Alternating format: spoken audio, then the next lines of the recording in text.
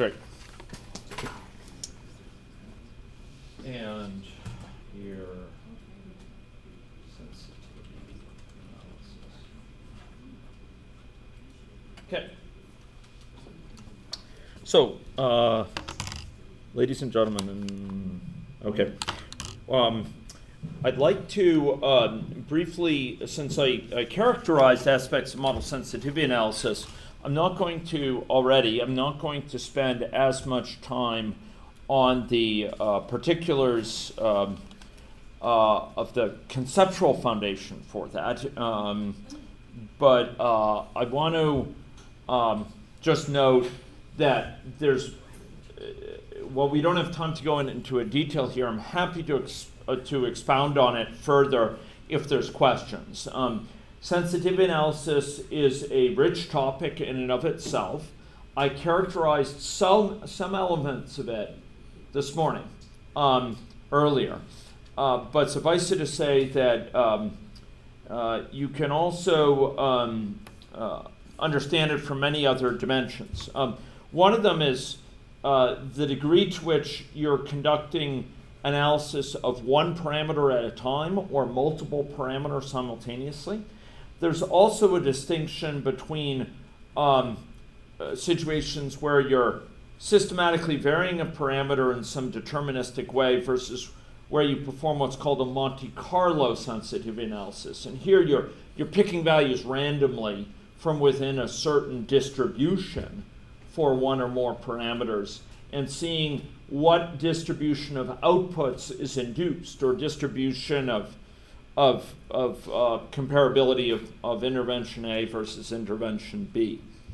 Um, uh, another use of sensitive analysis will be seeing is, is um, where we conducted on parameters given given the model. Another is where we just use model stochastics as our source of uncertainty or variability, and we we do sensitivity with respect to model outcomes in light of those stochastics, recognizing that a given run of the model may yield somewhat different results um, uh, under different circumstances. Finally, um, uh, I'll note that there's a important tradition which is under uh, it, it's not as common as it should be in dynamic modeling, but you'll find people engaging in it, um, sometimes without naming it explicitly, which is called structural sensitivity analysis. And the idea here is, uh, while we conduct sensitivity analysis with respect to parameter values, some of the most important assumptions about the model are in fact captured in the theory that is in turn expressed in large part by the structure of the system, the stages, for example, of, of a that a person goes through with diabetes and chronic kidney disease, or the, um, uh, the, the, the stages that a person goes through with respect to opioid addiction, or with respect to, um, uh, to commitment to behavior change, or what have you. And um, some sensitive analysis focus on the structure. So they might, for example, say, um, suppose we, we posit there's no asymptomatic individuals in the population um, uh, for gonorrhea. How would that affect the, the incidence and prevalence of gonorrhea um, uh, going forward uh, compared to if we did have uh, asymptomatic individuals? And you can get a sense of just how big a role that's playing in the dynamics you're seeing by sort of turning on and off um, certain uh, elements of state charts um, by this, you know, setting a, a transitions um, hazard to zero or by uh, doing something called ignoring it. So I want to show this in AnyLogic just because it's, it's worth knowing about. Um, so if we were to um, um, go and consider that model from yesterday, for example, where we had um, um, where we had the susceptible, infected, and recovered individuals. Um, one thing uh, that you could do is to set, for example, associated with um, this uh, this transition here, you could set this to essentially never fire. So you may remember, like if we ran this model here, what you will see is some induced dynamics over a network involving infection spread. Okay, this is a, uh, this looks like a, um, a distance-based network again. Um, and uh, here we, we, we see uh, uh a dynamics induced uh, individuals are, are getting infection recovery. Actually, that doesn't look, from its dynamics, that doesn't look distance based. I'm wondering if that's, yeah, it's a random network. Okay. Um, I'll change it back to distance based because it'll have a bit more structure to the results in terms of the spread um, and, and look less, less variable. Um, so, you know, this is one dynamics induced by this. Um, by this uh, uh, state chart. But we could, for example, ask the question, what if we were to disable recovery, um, the recovery process? One way to do this is very easy. Um, just make sure you remember you've changed it in this way is, you know, you could multiply this whole thing times zero, 0.0 times this. In which case, essentially, people will never go across this. This is a hazard rate of zero. So realistically, it's never going to fire, and you could run it, what do you think we'd see differently? Do you think we'd see any difference? Yeah, so basically everyone's going to get infected and they're going to stay infected. Um, you know, the infection goes up, and instead of having those oscillations, it's just going to go to, you know, everyone, right? So this is an example of structural sensitivity analysis. We're actually altering the structure here by essentially saying, other than the initial people who start here, which we could change as well, um, you never go from infected to recover. You never recover, right? Um, another thing that you could do would be to, and, and I want to show you th- this as an alternative method. You can, in AnyLogic, when you have a element, you can say ignore, okay? And that will actually retain this physically there, you still see it, but it's actually ignores it from the standpoint of it doesn't consider it computationally. So, so this transition will never fire. What do you think the impact of that will be? Yeah, people will get to recover. Do you think the infection will continue in the long term, oscillating around some some equilibrium? What, what do you think will happen? Yeah, it'll it'll spread, and then guess what?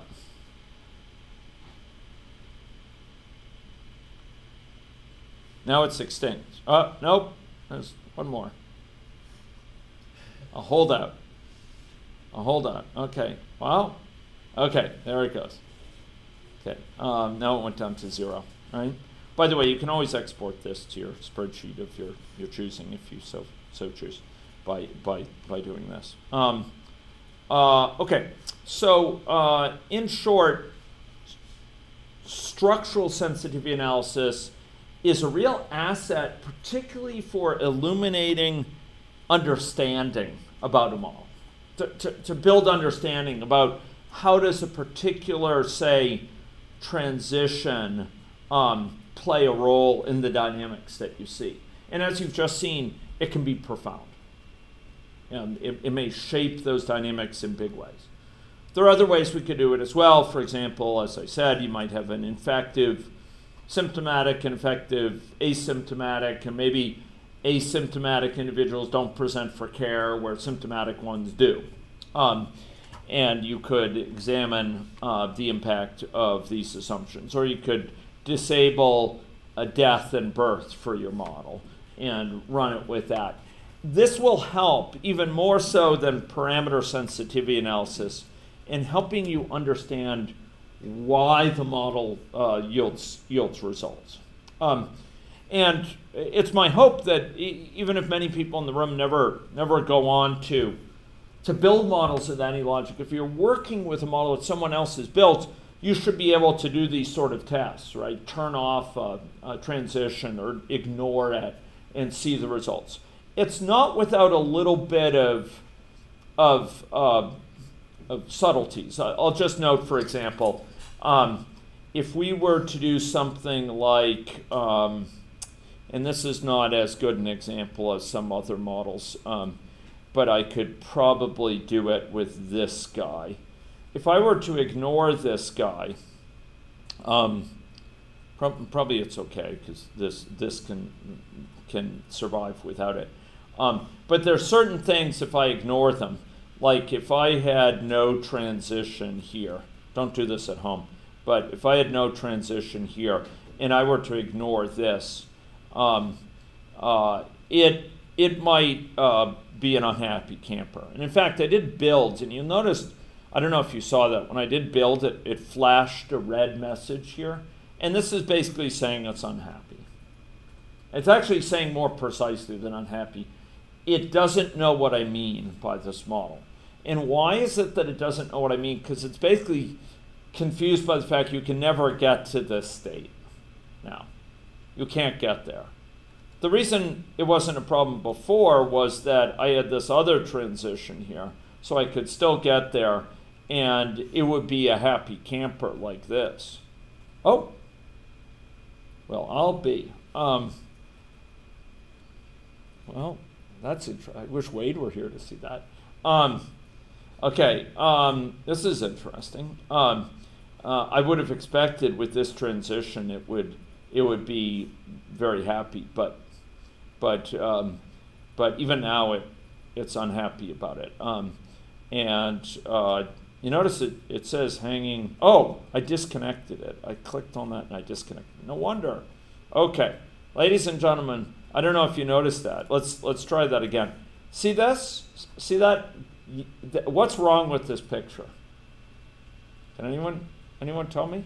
I'm going to zoom in. What's wrong with this picture?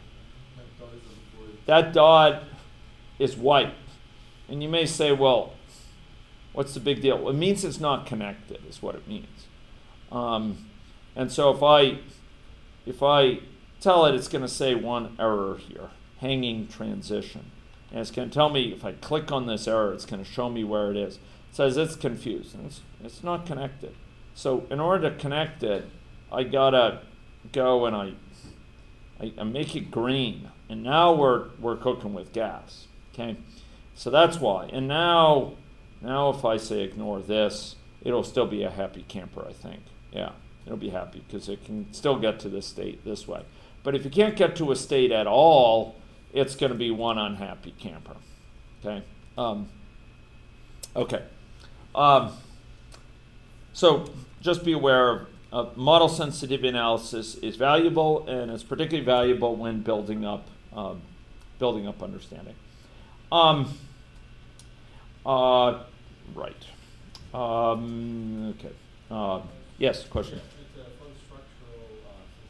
Yeah.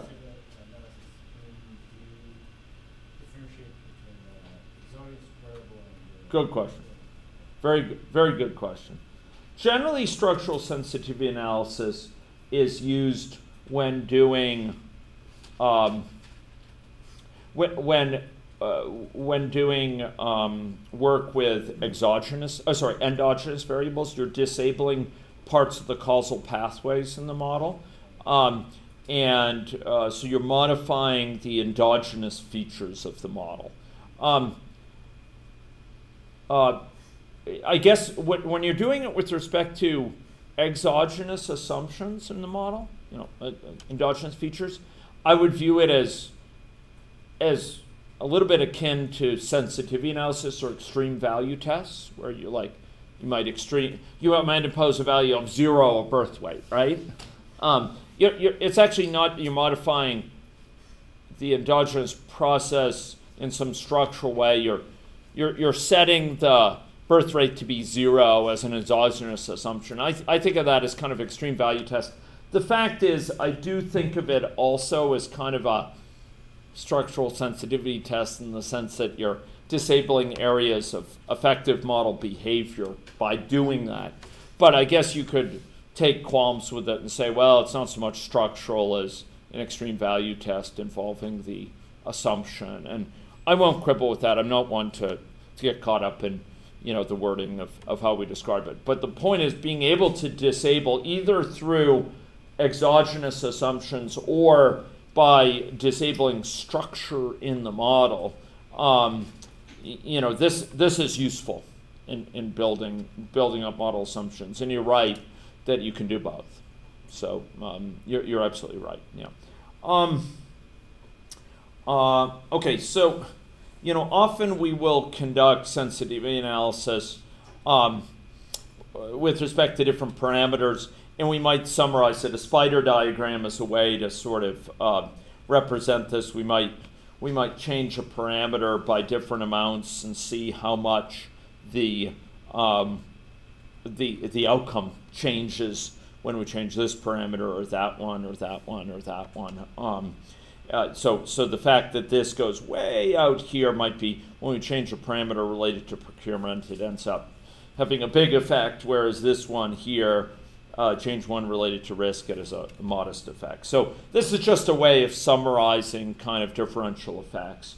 We have other cases, and I could share you with you theses where, you know, for example, we've looked at the impact of uh, changes to parameters on model behavior over time and you have graphs that show if I change this parameter by 10%, it yields a big change in this outcome, whereas this other one changed 10%, you can't even see the difference, something like that. Um, okay, um, so I'd like you to open up, for the purposes of this presentation, I'd like to show you a, a useful feature of AnyLogic for learning, to which we have contributed models, and including a number of health models. Um, and uh, I'd like you to, to grab a particular model. Okay, The model we're going to be looking for is called SIR agent-based calibration. Okay, And to get there in AnyLogic, you do help. AnyLogic help has, it, it's not something to, to look down your nose at. It's actually quite, got, it's got a lot of stuff there. The part of it, where it's got many features, including tutorials, etc. I would suggest doing example models here. Um, by the way, Wade, what is download Chromium pack? That'll allow you to export a 1.5 gigabyte export model that has Chromium for every OS. Oh, I see. I see. So it's kind of a export a model that can run independently of AnyLogic that comes with Chromium, is yes. packaged up with Chromium. Okay, so ladies and gentlemen, AnyLogic has a wide variety of example models. Um, uh, and we've been privileged to contribute. One of them on the right hand side here is called SIR agent based calibration. And I'd like you to click on that, and it will open it up. And probably, um, probably to avoid um, getting confused, it would be worth right clicking on this and saying close others. Okay. And uh, if you've got anything else open, it will close it up. Okay? Um, okay. Um, so here, we're going to look at a very simple model that's not privileged. It's a kind of SIR type model where people contact each other. And here, actually, people, it spreads in, in space. Okay? Um, and we're not going to get too caught up in this. If people are interested in learning more about the dynamics of this, it's quite fascinating as a stylized model. And um, I will come back to this if I have time after, after this. Um, what we're going to, to look at here, though, is two features associated with this. One is calibration, and one is for for parameter for parameter variation and looking at impacts of stochastics. Okay, um, and so first we're going to go to this Monte Carlo 2D histogram. Okay, um, and the idea here is AnyLogic provides built-in support for sensitivity analysis. Okay, with respect to two types. Number one actually, you could argue multiple types. Number one, with respect to varying parameters, either in a regular way or in a Monte Carlo sampling way, where you draw their values, alternative values from distributions, and you simulate the results. Okay. In addition to that, it'll allow you to summarize model how model outcomes differ in the context of stochastics. Okay? Um, so we'll, we'll go see this. So I'd like you to open that up, up that experiment, which is called Monte Carlo 2D histogram. Okay? Um, and if you double click on that, you should see something like what is, whoa, like what is shown uh, here. Okay? And we're going to look at a particular property in the parameters area here, which is going to be allowing us to say for this for this parameter variation experiment. You notice that name aside, it, it's it's called a parameter variation experiment. And in AnyLogic, when you add experiments, you can actually choose what sort of experiment should this be. Should it be a thus far uh, we've been using only simulations. These run, these are one-shot deal. You, you run it, it runs the model with certain assumptions, a single random number seed just runs it, and, and you get some result. Fair enough. And that's how we do most of our experimentation. That's how we do most of our learning.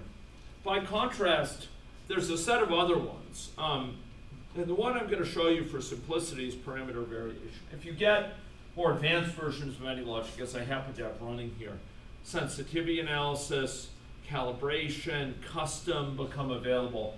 And our group has made use of all of those. Um, uh, Wade could, could tell you about custom experiment.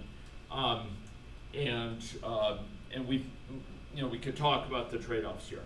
But really, parameter variation experiment is enough for you to do sensitivity analysis, okay?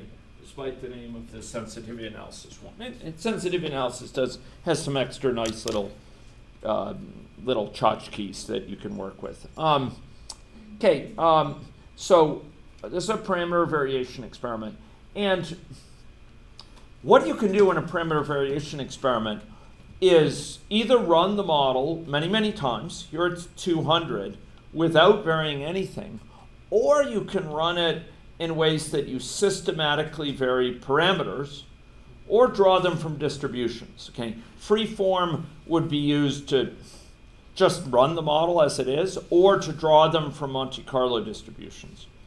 Varied in range would most commonly be used to to vary them over a certain range. Okay, um, so the first thing we're going to do here is we're going to run this with a particular set of parameters 200 times. But there's a very important thing we want to check here.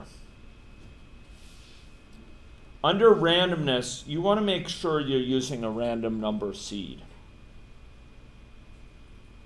Okay? And the reason you want to check if you're using a random number seed is that you should be looking to see if it's going to be run each of these 200 times with different assumptions about the randomness involved. In general, these models uh, will have stochastics.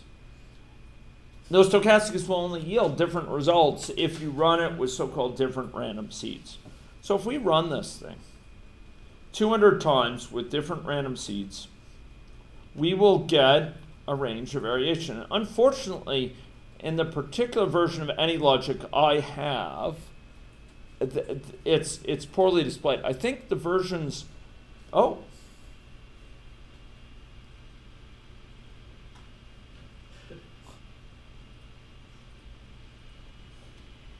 As they say in rural China, guai guai long di dong. Um, I, okay, well, um, I thought I'd be showing you something embarrassingly impoverished.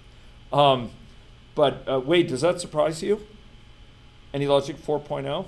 That's not a change, it just it happens to look okay with this one, and depending on your distribution, it. Okay, Like is if it- you look at the vertical Yeah. part of that curve, Yeah. it's very light, Yes. and yes. yeah, sometimes it's Okay. hit or miss kind of. Oh, okay, so even it's not this color or anything. Um, okay. So, uh, ladies and gentlemen, what you'll see here, though, is kind of a ghostly image. And, and I want to rerun that just so you can you could see a little bit in a finer grained way what's what's going on here. I'm gonna I'm gonna actually restart it. Okay, um, here we go. Here we go. Um, and uh, I will run that, and you'll notice as I'm running this, it's actually filling things in. Watch this. So and you'll notice this bar going across. And you notice it kind of filling in things. What's going on here is actually running the model again and again. And this little indication down here is showing different computational units of this computer running different runs. And this progress bar is showing more and more runs being made. But this ghostly image is summarizing 200 runs with the model. And you'll notice that there's a certain degree of variability here. Amongst other things, you'll notice there's kind of a bar down here and a bar that goes up above. Can you see that? Um, so so there's there's one down at the bottom and there's one up here at the top. What this is indicating? Well, does anyone want to posit what this is indicating? This is summarizing many, many runs, what do you think that indicates? Well, turns out there's going to be some runs that at this time, let's say time 40, never get above basically zero. And then there's going to be some which are up here in the range looks like, I don't know, 1800 up to 2400 or something like that. Um, and there's some variability up there, and there's some down here. Now you have to be cautious because this is sort of a cross-sectional depiction. You're not actually plotting out here individual trajectories. But what you're showing instead is kind of uh, at any one time, say a time between 40 and 42, um, uh, what were what was the, the, set of values for, for different runs? It's like a distribution of values. So one way to think about it, which I'm rather pretty at, which I'm rather fond of, is if you cut this, this sort of 2D histogram at a certain point, say, say time 40, and we were to look at it from the side, you would see a distribution. Um, at that time, uh, quite a few of the runs had essentially zero, had virtually no. And then, then there was sort of a, it's a bimodal distribution. Quite a few had virtually none. And then there were almost no runs that had between like 200 and 1800, and then there's going to be a peak here, or you know, peak rising, or second mode rising here and then going down, and then almost none of here. So there's a bimodal histogram here at that time. This is a 2D histogram. For each little bit of time, it's summarizing at that during that period of time across these 200 runs how many fell within this range, or within this range, or that range, and it plots it out. And um, it may be useful for you to, to copy this and go and, and call up a, uh, uh, a spreadsheet and paste it in.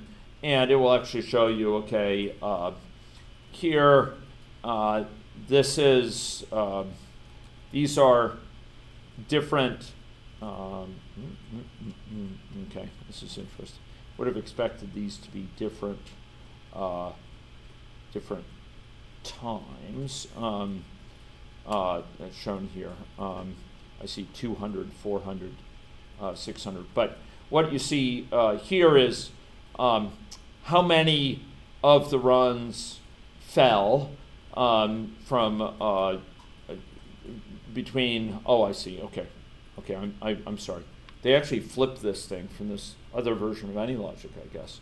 So, so this has got to be time here uh, along the x about along the y-axis now, and this is number of people infected. That's along this axis. So at time zero, all of the different runs, uh, uh, yeah, at time zero, all the different runs fell within the range 0 to 200. So in other words, this bin is 0 to 200, this is 200 to 400, this is 400 to, to 600 number of people infected. All of the all of the different runs fell within this range. Um, At time 2.5, they also, all of the runs, despite variability, had this.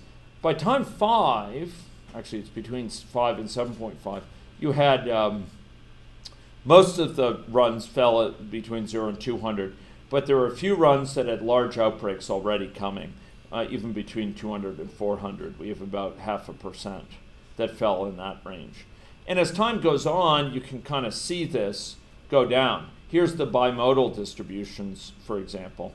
You know, most, uh, so about 11.5% of the runs had between 0 and 200, um, but, but then way out here, there were 4% that fell between 4,000 and 4,200, 8% between 4,200 and 4,400 uh, 10.5% between 4,400 and 4,600, etc. So, so this is a summary of variability. But you may ask, where did that variability come from? Because as I run this, I'm not assuming any changes to these parameters. So where did this variability come from? Anyone? I mentioned it before. It came, ladies and gentlemen, from stochastics.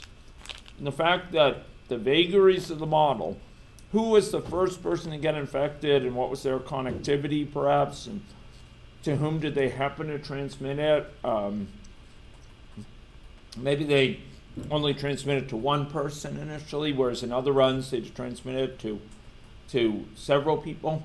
Um, that leads to some variability in results. Sometimes maybe it dies out in a small number of runs. Okay. Um, this is with no variation in parameter. There's already some variability in results because this is a stochastic model. And by definition, that induces variability in endogenous behavior. Does that make sense? In a stochastic model, this is not limited to AnyLogic. I mean, look at NetLogo, you're going to see the same thing there's going to be some variability in results. And it behooves you to examine that variability. Because maybe we make a run, a particular run, maybe with a fixed number seed, and all you see is uh, no outbreak. You can't assume that's representative of most runs or all runs. So you want to run it in general. You at some point you want to start running your model many times. And You want to summarize it, and this is one way of summarizing it. It's a popular way. It's a it's a what's called a 2D histogram. Okay, um, so it's it's characterizing the results as a distribution um, over time. This purely induced by model stochastics. Let's go into this a little bit more though.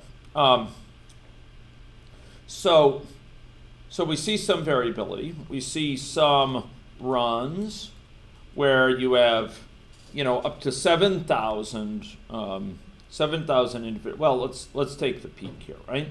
Here's the peak. At time 15 was sort of the maximum. So there are some between 7,000 and 7,200. Some runs with no difference in parameter values, no difference in model structure, just differences totally associated with the vagaries of rolling the dice.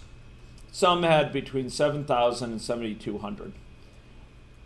But there were some, 11.5%, that had between 0 and 200, where probably the infection never really took off. So just be aware there, there can be large variations in these results, large variations um, from stochastics alone. How big will those differences be? It'll excuse me, it'll depend model to model. So you'll want to look at it. Okay, for your models, you want to run them many times. Um, we could run this more times. I could run it 2,000 times. This is going to take longer. It's going to run this model again, and again, and again, and again, 2,000 times. And it's going to take longer, but what you will see is, look at that, the first one seems to have been a dud. the, excuse me, the infection did not take off. Um, it's running here. It's it, this blue bar is indicating a slow progress, uh, and we see it um, progressing here. but suffice it to say, after 2,000 runs, it's not going to look all that different from what it did earlier. It's not going to look that different.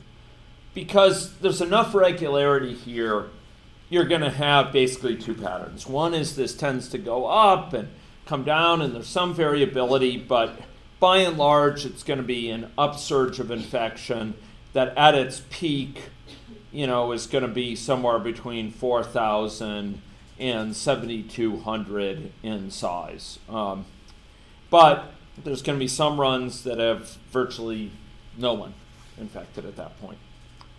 Um, there's regularities here. It's not it's all over the map. It's it's actually clustered around these two possibilities. Okay, um, let's go look at this a little bit more. Um, now suppose we were to vary parameters. Okay, um, uh, so if we were to vary in range here, how do I get to this? I get this is under parameters here, ladies and gentlemen. So if I were to go again to parameters and I do varied in range, this allows me to vary them, okay? And and maybe I'll vary them here in some systematic way. I'll, I'll have five possibilities for average duration of infection, okay? Average, that's what this is, average illness duration. That, that reflects how long it is until they recover.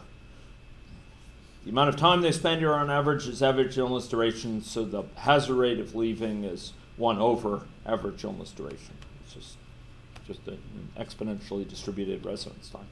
Okay, so let's go, go back to that uh, here, and let's set that.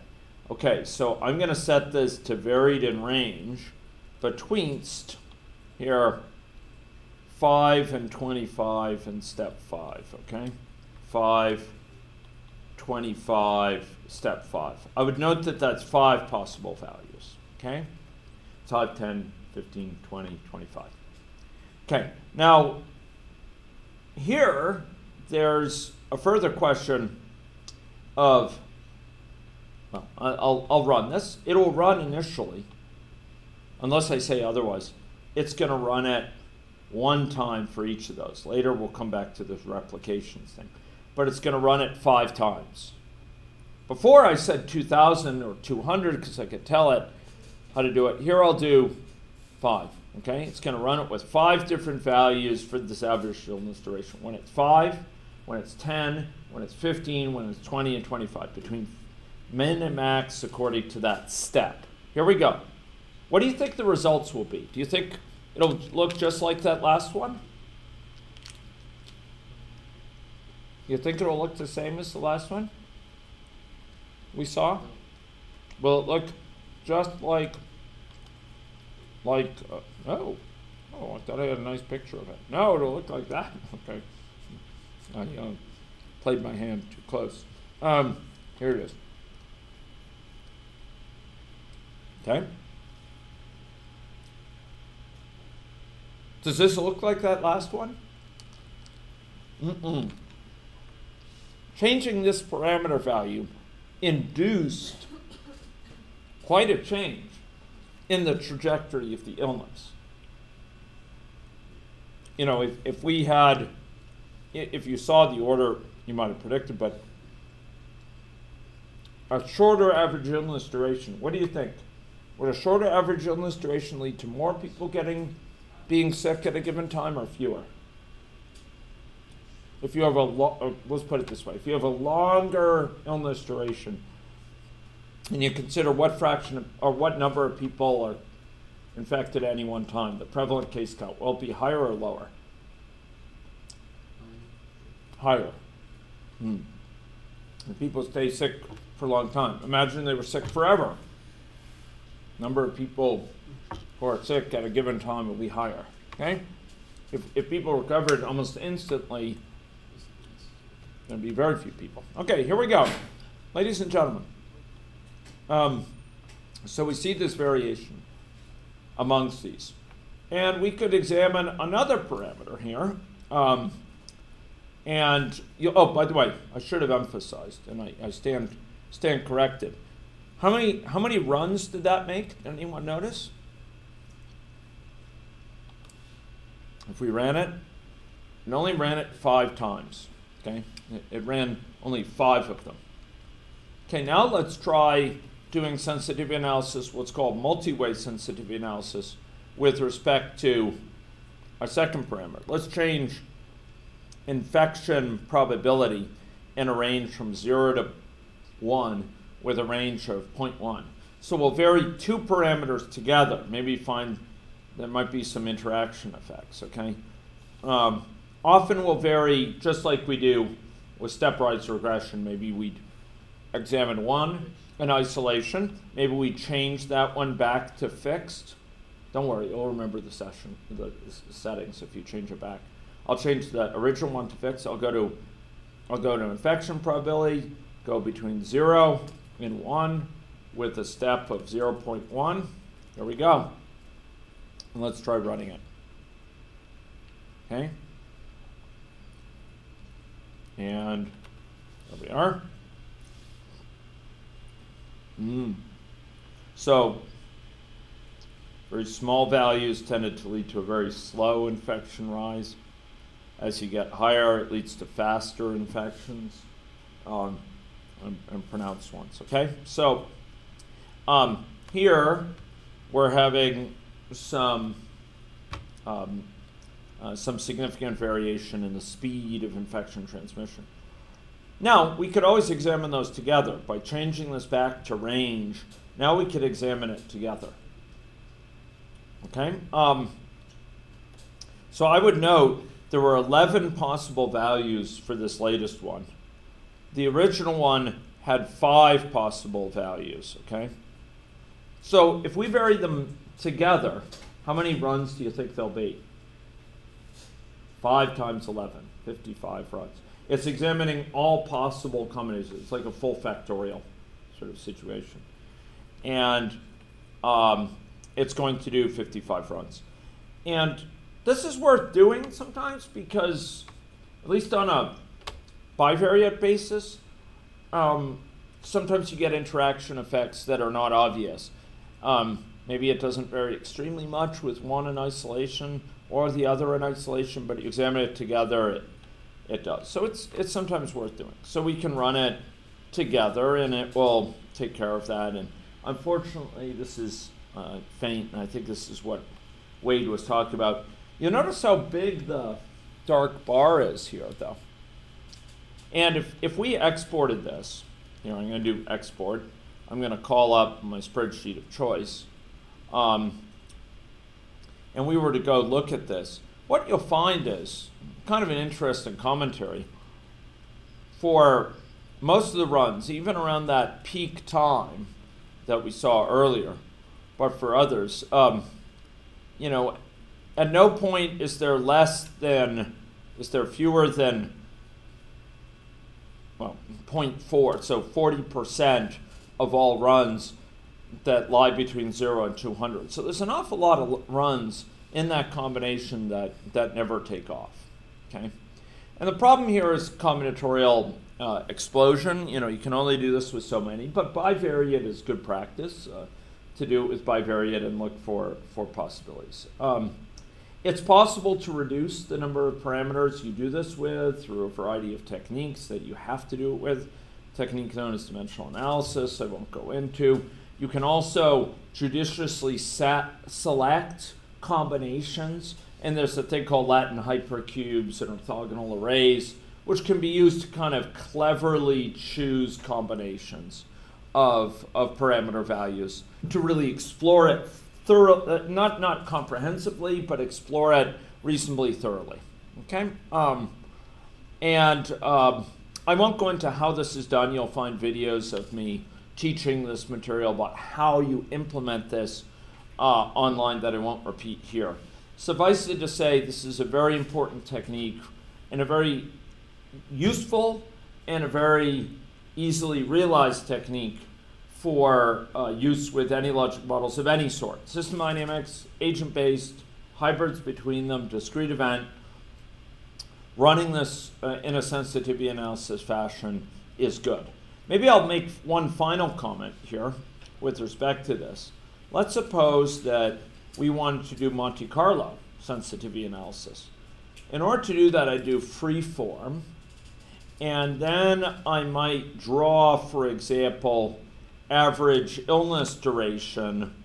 You don't have to do this, but I might do it from a log normal distribution um, with a, say, uh, a log mean of, of uh, 1, a log standard deviation of 2, and a minimum value of, of 0.0. And really, I stand to be uh, criticized for not being more careful in that. So this is a draw from a log normal distribution.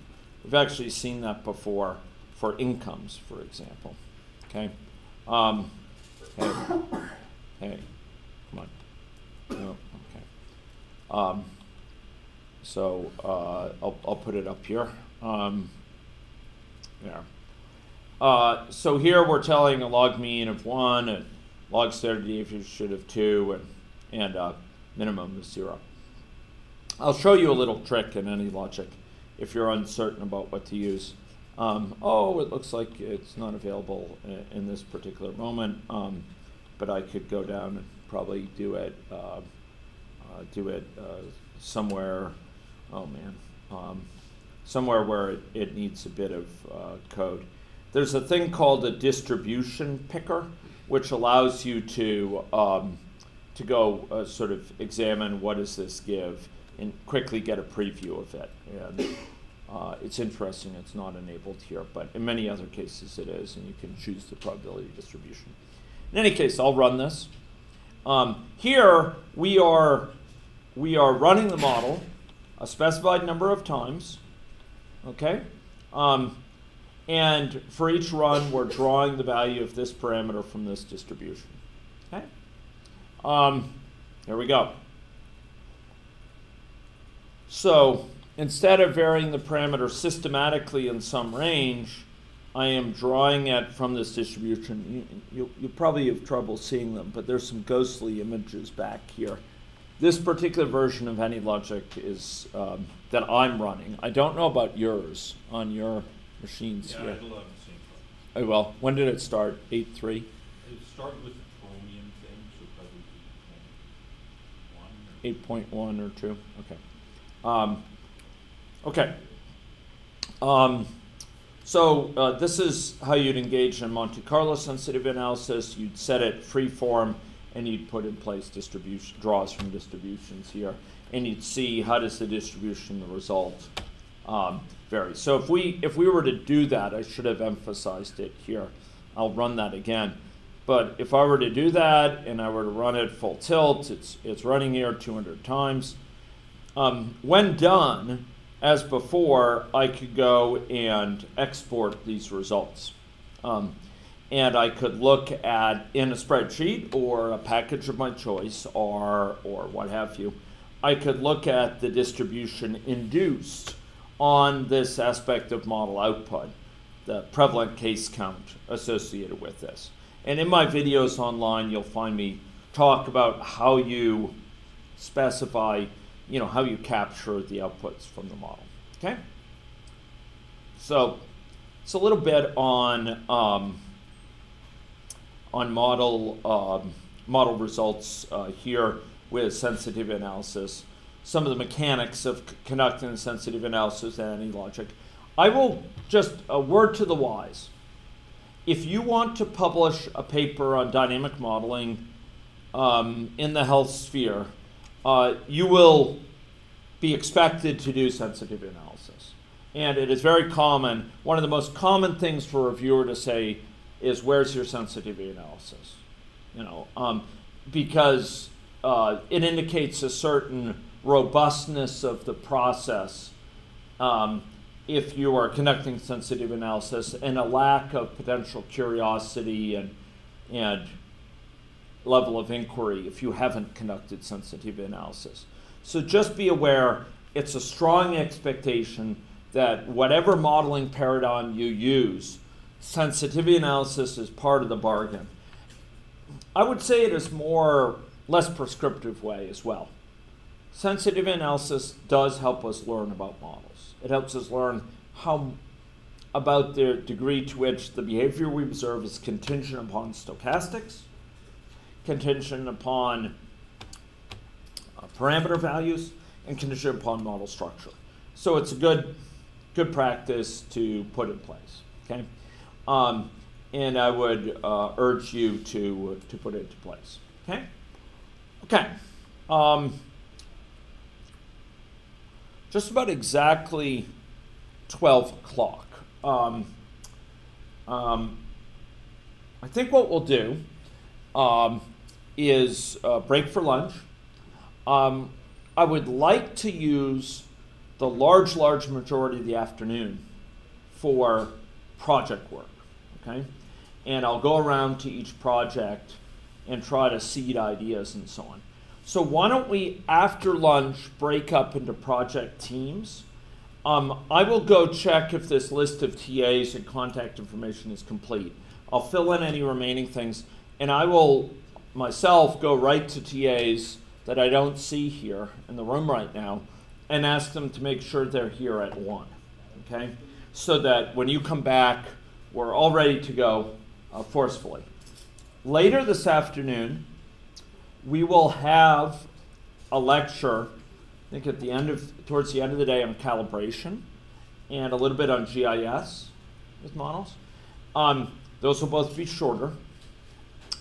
And then we're going to have a guest lecture um, uh, by Yuan Tian, who is the lead modeler and an esteemed um, uh, figure within the provincial health infrastructure, on how she's been using these models um, in, um, uh, to inform policymaking with respect to ED waits and patient flow, uh, as sponsored by our Ministry of Health. Okay, um, she did all that work in AnyLogic uh, coming out of my group, um, and she's now a doctoral student in my group. We're very lucky to to have her be able to share with us this work that's had such an important shaping effect on provincial thinking about um, how to lower the the, uh, the waits associated with emergency departments.